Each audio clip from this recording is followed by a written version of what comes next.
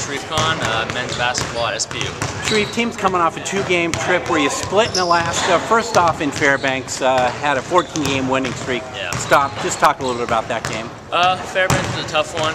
Uh, like you said, we had that 14-game win streak going into it, and I think we just we didn't have our best game. You know, it happens. Um, but we bounced back on Saturday and a good win. So I think that short-term memory served us well, and even though we lost, we split. Um, so we made the most of that. Sure did. That was really an impressive bounce back against a very good Anchorage team.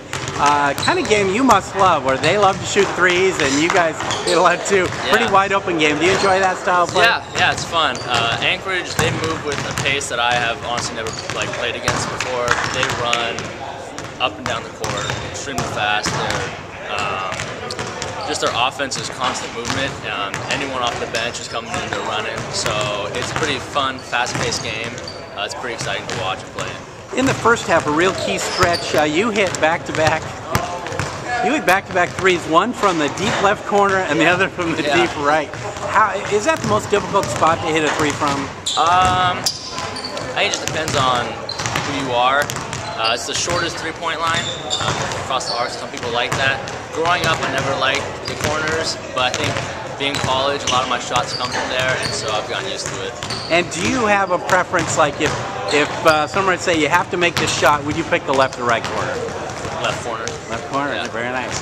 Um, shooting's always been part of your game, but other aspect, I, um, I guess people would say you're really active. I say I'd say pesky would be the term I'd use. Yeah. And look at you um, are leading the team with 22 steals. You have four block shots.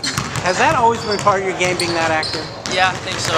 Um, I play squash, racket sport, and so that's kind of like my family background. And so I think playing that racket sport has given me quick hands, and so I think I've just tried to use that to the best of my ability in basketball. Um, and a lot of that comes on defense with kind of reaching when I can, being smart about it, and just getting deflections. Well, it's really working. Quick Thank hands you. in the active. Uh, one thing I wanted to ask about the Anchorage game. Um, the reserves bench players uh, only combined for two points in the Fairbanks game. Yeah. Come back Saturday at Anchorage, scored 29 points Yeah. together. You had a great game. Um, how did that come about? Why was the reserve so effective against Anchorage? Um, like you said, uh, our bench play on Thursday against Fairbanks wasn't great, and so I think we came out with the mindset of we have to prove ourselves, um, just help the starters out, um, just wasn't a good feeling on Thursday knowing we didn't contribute to the best of our ability, so we really wanted to do that on Saturday. Great. Well, now you enter a stretch where you play four games in eight days. Yeah. Good news is the first three of those are at home. Yeah. How do you handle a stretch like this where uh, that's a lot of games in a short span? Yeah, I think preparation's big.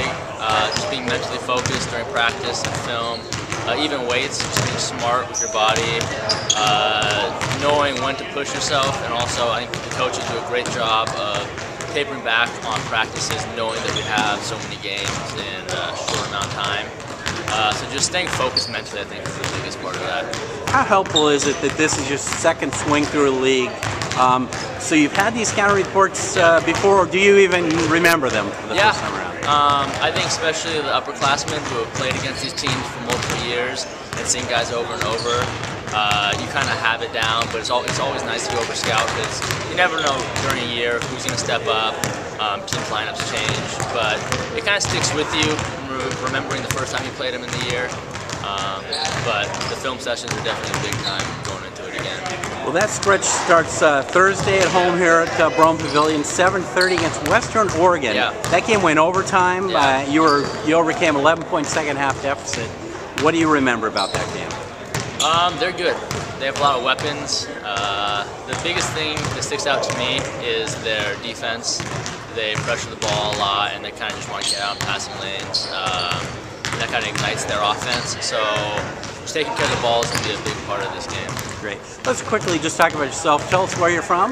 I'm from Bellevue, Washington. Yep. And uh, if you were to hop in your car at home in Bellevue, drive to campus, how long would that take you? 25 minutes at most. Very nice. Uh, without traffic, I Yeah, assume. without traffic. Without without traffic. Yeah. Uh, what are you majoring in? Uh, business management. And what do you see yourself? Uh, how do you see yourself using that?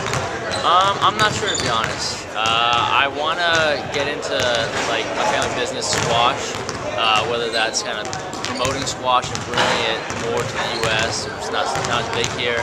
Um, but putting on tournaments uh, with professional players. So something in that realm.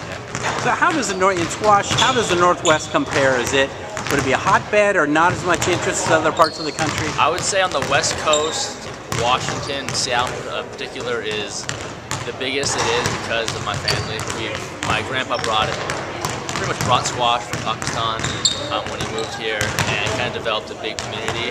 Um, it's pretty big on the East Coast, uh, but the U.S. in general, it's squash like the least popular versus like overseas. Uh, yeah. Last thing, if the Khan family had a squash tournament, uh, who's going to win that? I would say right now my brother Salim, he goes, he's playing at George Washington. Uh, he's a top player in the nation. Um, but if my dad and my uncle and my aunts, if they were in their prime, it would be tough. In their prime, obviously. yeah. How about right now, you against your brother? Could you make it interesting, or is he blowing I away? I would love to say I can make it interesting, but I think he'd, he'd beat me pretty handily. Very nice, great. Sharif, thanks for your time, um, and good luck this week. Thank you.